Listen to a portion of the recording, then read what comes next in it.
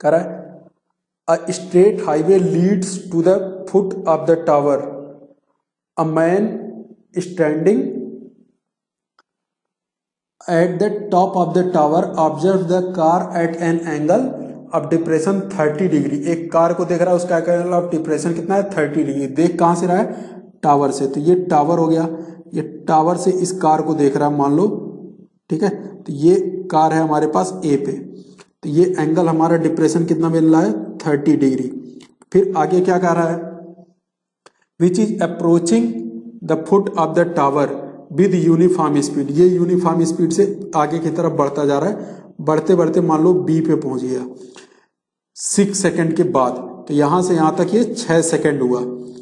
तो छह सेकेंड ये डिस्टेंस हम सिक्स वी मान लेते हैं। क्यों? ये स्पीड हो गया वी और ये टाइम हो गया स्पीड इनटू टाइम डिस्टेंस मिल गया। तो ये अब इसका एंगल ऑफ़ डिप्रेशन कितना डिग्री हो गया? 60 डिग्री हो गया। तो अल्टरनेट एंगल से पहले तो ये 60 और ये 30 बना लेते हैं। ए से बी पे पहुँच गया। अभी भी वो आगे की तरफ़ बढ़ता जा रहा है। पूछ रहा है कितने सेकंड में वो टावर तक पहुँच जाएगा। तो कितने सेकंड में हमें नहीं पता तो हम मान लेते हैं टी सेकंड में। तो टाइम इंटू स्पीड करेंगे तो ये डिस्टेंस मिल जाएगा। और ये हाइट हम इसको एच मान लेते हैं। तो हमसे यही टाइम पूछ रहा है कि कितने टाइम में वो पहुँच जाएगा। लेट क्या क्या? हमें लेट करना है speed of car speed of car ये हमने मान लिया क्या? वी मीटर पर सेकंड ठीक है? और क्या माना? इट विल रीच या time taken to reach the foot of the tower ऐसे ले लो। क्या? Time taken time taken to reach the foot of the tower foot of tower तक पहुँचने में इसको और कितना समय लग जाएगा? टी सेकेंड मान लिया। ठीक है? देयर फोर ए से बी तक का जो डिस्टेंस होगा स्पीड इंटू टाइम तो सिक्स इंटू वी मीटर, यानी सिक्स वी मीटर आ गया।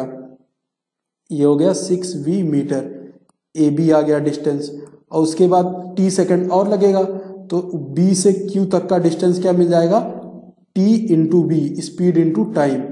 तो ये मिल गया हमारे पास।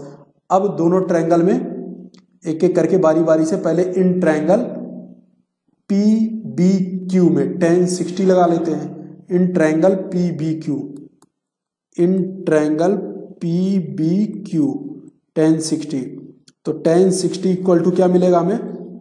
परपेंडिकुलर परपेंडिकुलर क्या? P Q base B Q तो पी क्यू की वैल्यू जो है एच है और बी क्यू की वैल्यू टी वी है. तो एच अपान में टी वी टेन सिक्सटी की वैल्यू रूट थ्री तो एच इक्वल टू क्या मिला? Root three T V equation number one बना लेना. अब क्या करोगे? नेक्स्ट दूसरा वाला ट्रायंगल ले लो. इन triangle A P Q tan thirty लगा लेते हैं. तो tan thirty equal to perpendicular क्या? पी क्यू अपान में बेस क्या? ए क्यू तो पी क्यू की वैल्यू तो फिर से एच और ए क्यू की वैल्यू सिक्स वी और प्लस टी वी और टेन थर्टी हो गया one by root three H root three cross multiply करके six V plus T V equation number one से एच की वैल्यू रखो।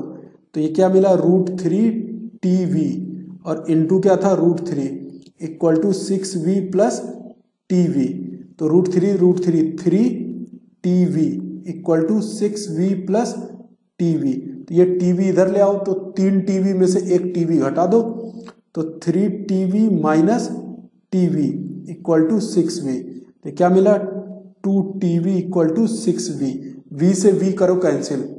तो जब वी से वी कैंसिल कर देंगे तो क्या मिला हमें? Two T equal to six. तो T equal to three second. तो तीन सेकेंड उसको और लगेगा जब वो टावर के फुट तक पहुँच जाएगा। ये इसका आंसर हो गया। नेक्स्ट